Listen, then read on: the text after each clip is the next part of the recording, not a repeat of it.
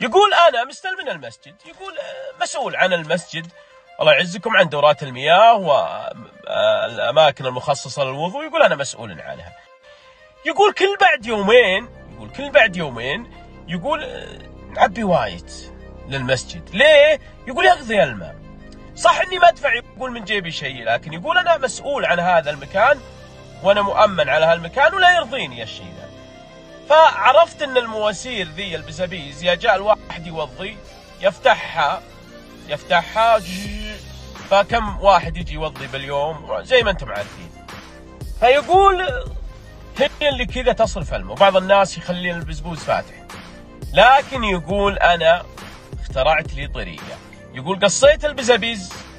بزابيز جاية كذا زي اللي بالصورة هنا. جايتن كذا. لأنها تصب تحت بالارض قوة. يقول قصيتها خليتها بشكل طولي زي ما واضح بالصورة اللي تشوفون.